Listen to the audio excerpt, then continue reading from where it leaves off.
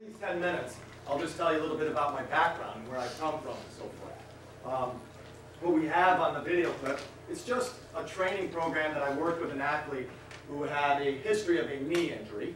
And he came in for a four-week camp, and we're just going to look at a couple of the weeks, and I'll just stop it. And I'm not trying to reinvent anything, and I'm not trying to show you things that you haven't been doing and so forth. It just gives you a little bit of a perspective to say, an athlete has come in for a reconditioning camp for a couple of weeks, and here's some of the stuff we were doing.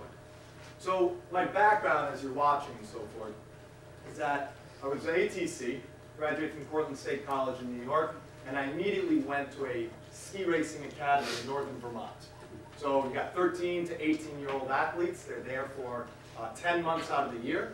They're competing uh, on snow. They're only there for skiing, so population's about anywhere from 70 to 80, 90 athletes and so forth. And we've got them full time. They live there, they go to school there, they go home for a few weeks in the summer, about six weeks, but we see them anyway because we go skiing around the world. So there's my population that I got to play with as a young athletic trainer coming out of uh, uni. Difference was in my first year, I had nine season-ending ACL injuries, a femur fracture, a tib fib fracture, and a meniscal and an MCL. So anyway, roughly, yeah, 12. 12 season-ending total knee injuries in my first year as an athletic trainer. They occurred within about a six-week time frame. So that's what I, that's how I learned. So that's how I kind of got my hands going and understanding of what this was about. The next year, it was nine total season-ending injuries that took place. So again, we had a problem based on my exercise science or whatever it might have been that I learned. I think we might have a problem. Still didn't understand the relationship between performance or what injury prevention really was. This is 89, 90, 91. And so all it meant was that they're training kids and kids are getting hurt. So it was pretty cool. It was job security, but the kids were wiped out. I was the only athletic trainer. And I had a room just a quarter over here. That was it. Tiny little space, built two athletic training tables. Um, padded them myself, bought all the stuff, right? Designed them, sanded them, did the whole thing. Tiny little space. That's what we had. Budget was about, I don't know, $5,000, $4,000 to buy medical supplies, tape, uh, and things like that. We had a small antique weight room and so forth. But we're on the side of a mountain. We had the outdoors. We had everything that we needed. That's where I began. And then I left about 14 years later. Still with a budget of somewhere around $5,000 annually, what we needed to buy some things. Yeah, there's some donors would give a lot of bits of kit here and there and some pieces of equipment. But it's still bands, pulleys, dumbbells, balls, little things, okay? Didn't have the luxury. That experience was very irreplaceable because the reality is, is you can do a lot with nothing. So it's a very simple approach. It can be very complex in its thought process, but its execution, or by design, it can be very simple, okay? What I learned was coaching the entire time. I learned how to coach. And so all of a sudden, we had to say is, we have an injury problem. We need to start strength training them better. So they weren't getting the right kind of education in the strength training environment. So that's where the coaching came. So I got a CSCS, easy, okay to get. What are you going to do with it? And then we had to start doing some physiological testing. I started testing kids, Wingate testing, Burke testing, body count, just started doing a lot of different things in season in order to try to figure out why we're we still having so many of these injuries. Are they losing strength? Are they losing power in season and so forth? And they were, all right? So once we started tracking all this stuff for a year or two, and then we started putting in-season strength training, not maintenance, but in the competitive season strength training programs, then we started reducing the injury rate. So it was just a good program. So for the first, I was there for 12 years, for the first uh, six years, we averaged 3.5 ACLs a year over six years.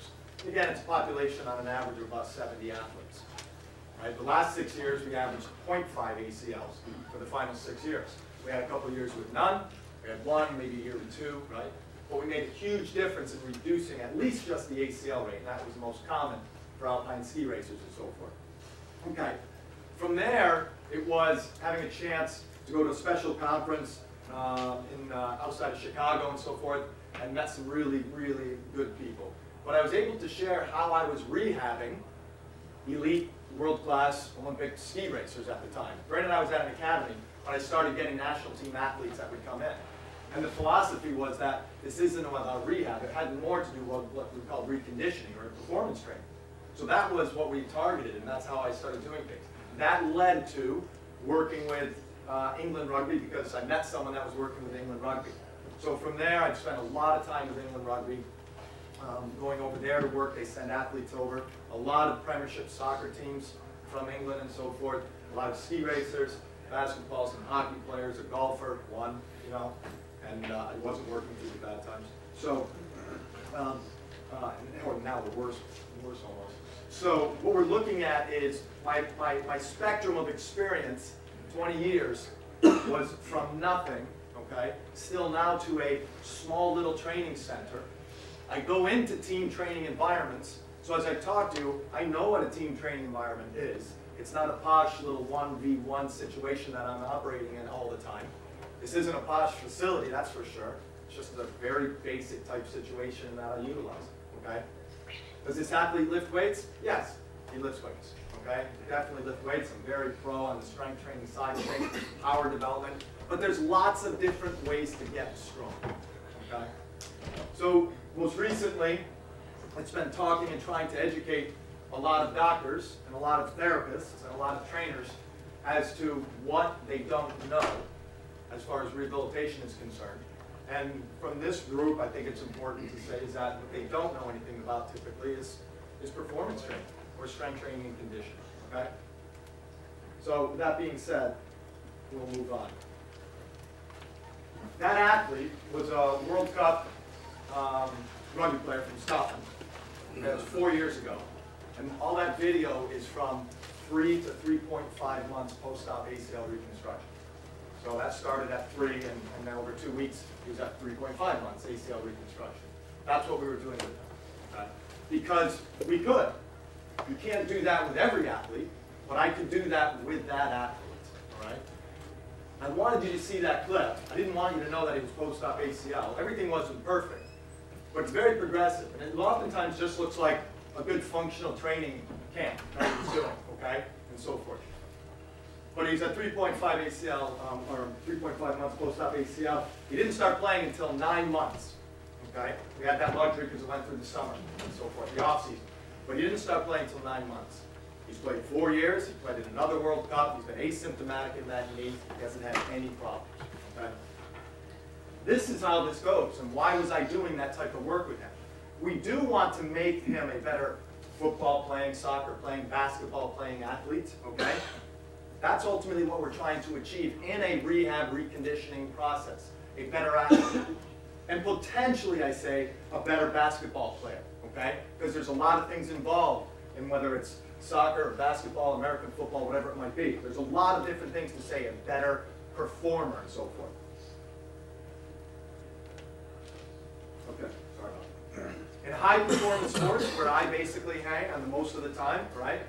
We need to strive for a better soccer player, a better football player, a better basketball player. Not just enough to say a better athlete, but actually try to improve their skills during this off time. That's what we should be striving for all the time. As a performance team, we should have control of that.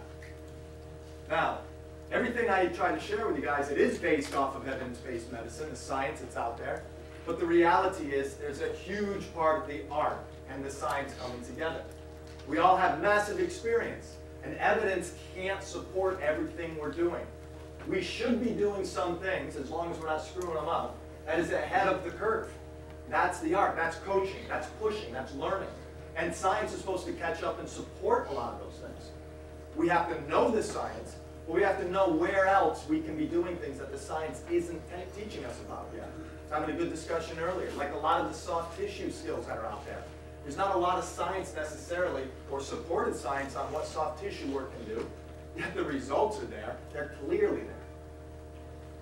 So I call it a return to competition strategy, not a return to play. All right? Return to play is getting back to, say, team training. Return to play is what young high school kids might do. They're playing again. But in elite sport or high performance, Division One, professional, whatever it might be, it's return to competition. Most injuries are occurring in competition. All right? So we have to prepare for the ultimate goal, not just getting them back close enough, but getting them back for the highest level. So I choose to use the term return to competition. But it's easy to get them back, guys. It's very easy. We must come up with ways to keep them back. So continue to compete strategies is what we're really after when this process starts. Immediate post-injury, the process of a continue to compete strategy should be put into place, all right? Joint compromised athlete. If you've had a knee injury, a hip injury, an ankle injury, a back injury, if it's a joint related problem, you are now a joint compromised athlete. There's a problem. It will never be the same, all right? Are there any surgeons in here? Because it will never be the same, all right? Even if they fix it, they do a very good job in stabilizing things and fixing things that way. We ultimately finish it off, but it'll never be the same. Load compromised athlete, the reason I use this is because not all our uh, injuries are joint related. They can be tendon, muscle, right, soft tissue related. But I also use the term load because once we start getting along the cycle and we start to reintroduce an athlete back to training, monitoring load is a good thing to do. So much of the GPS and accelerometer programs that are out there and what they're wearing monitors load. Okay, that's a good, that's why we use a load compromised athlete is something that possibly the coaches, the performance uh, directors, the performance people on the field, they monitor load for a guy who's had an injury. Load can also be, from the same perspective, um, intensity by time and things like that, what our classic, what load could be as well. So it doesn't matter whether it's an accelerometer load, whether it's load in your programming, it doesn't matter really. It is, once they are one of these things, they're going to stay that, okay? They're always a load compromised athlete. Therefore, return to competition strategies must be implemented on a regular basis. So a freshman, because we have some college coaches and things like that, a freshman who blows their knee out, it's a four-year plan to keep this kid playing. It's not get them back to play. It's not get them back for the next season. It is what is the strategy to get four years out of this athlete. If it's a professional athlete, many models are typically oftentimes a four-year model, three, four-year model. You don't get a pro athlete and say, we're developing a 10-year model for this guy, because they're either retired, hurt, or traded or something, okay?